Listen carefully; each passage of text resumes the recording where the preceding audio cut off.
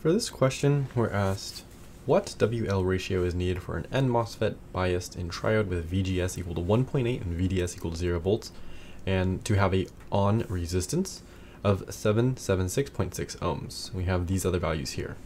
Now, to solve this problem, we're going to look at the notes that are freely linked below the like button in the description on about page 78. And on page 78, we're going to look at some of the keywording here. So we have an N MOSFET biased in triode. So we have an N MOSFET in triode. This is the equation that we're going to be using. So our equation here is going to be I of D is equal to, we have our K apostrophe N, which we are given. We'll just write K apostrophe N though. We have our W over our L. And then we have our VGS minus VTN. So we'll just do VGS, and that's in parentheses. This is become going to become very important in a second. Minus VTN. And then we have our VDS minus, then we have our 1 half, we have VDS, and this is squared. Now this confused me a little bit at first, but it's about to make a lot of sense. So what do we want to find? Well, we want to find the, well, not we want to find this, we want to find the WL ratio here, right? But an important part that we're given is this on resistance of 77.6 ohms. That's very important. And that's important because this I of D is going to be substituted for that. So I of D is going to be equal to, well, we're going to use Ohm's law. And I of D is equal to, or any I is equal to voltage over resistance, right?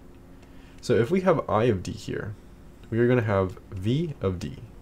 And this is just V ds. And then we are going to have this over our R of D, which is the on. And if our VDS over our RD is plugged into our I of D, we can see that, well, we have a VDS right here, and then right here, and right here. So what we can do is factor out these VDSs and then cancel out. So this VDS is going to cancel with this one, and then this is just going to become a to the first power. Now VDS and the problem that we have here is equal to 0. So all of this is just going to be 0. So really we have what's to the left of this.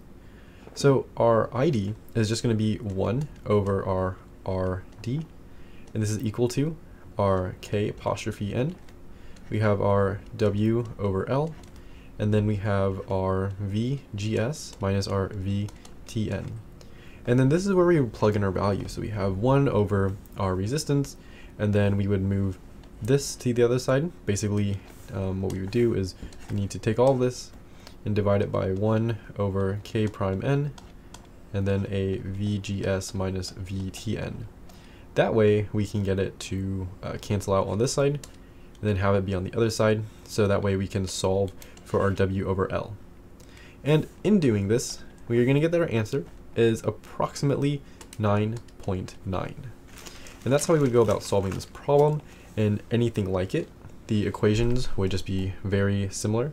So I believe I have a Symbolab here. We have 1 over the RD, and then we have our VGS minus VTN, and then we have our K of N for this problem. That gives us about 9.9. .9.